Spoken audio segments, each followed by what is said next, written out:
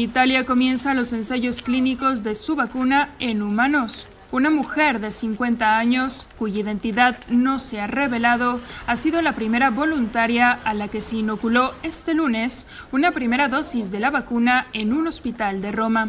A esta persona stata inoculata la prima dosis, verrà... Francesco Baya, el director sanitario del Instituto Nacional de Enfermedades Infecciosas Lázaro Spallanzani, señaló que si todo va bien, habrá una segunda y tercera fase de experimentación que probablemente se realice en un país de Latinoamérica, donde el virus está en fase de crecimiento. No quiso adelantar fechas concretas sobre cuándo la vacuna podría estar lista para su uso masivo, pero aclaró que si todo va según lo programado, esperan poder tener la vacuna de manera comercial en la próxima primavera.